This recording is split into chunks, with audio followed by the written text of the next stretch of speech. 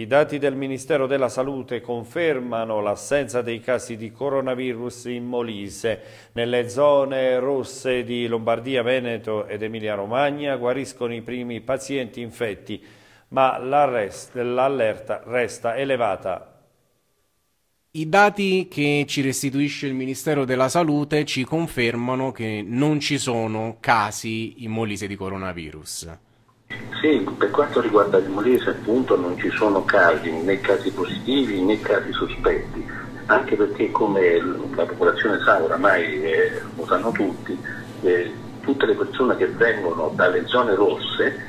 cioè nei paesi interessati del nord d'Italia,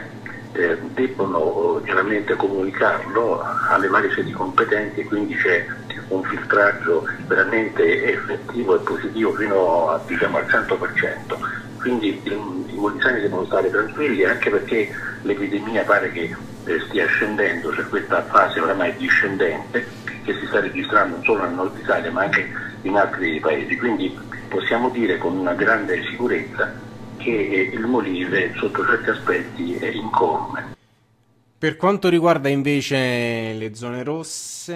il dato è comunque quello di un calo perché ci sono anche delle persone che stanno guarendo, ma l'attenzione resta alta. Come si devono comportare le persone che si trovano all'interno di quelle zone? Dunque no, ci sono dei dispositivi abbastanza eh,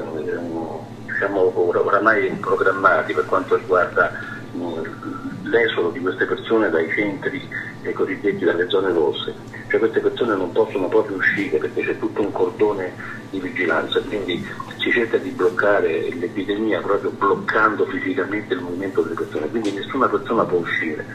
Solo quelli che sono usciti sette giorni fa, dieci giorni fa, prima che praticamente eh, ci fosse queste misure di sicurezza, solo quelle persone devono comunicare nel momento in cui vanno nei vari paesi di origine o quelli che vanno a visitare altri paesi, devono comunicare di essere stati in queste zone rosse, proprio per evitare il contagio. Pare che questa misura sia veramente efficace perché, torno a ripetere, a tuttora non ci sono dei casi sul territorio nazionale.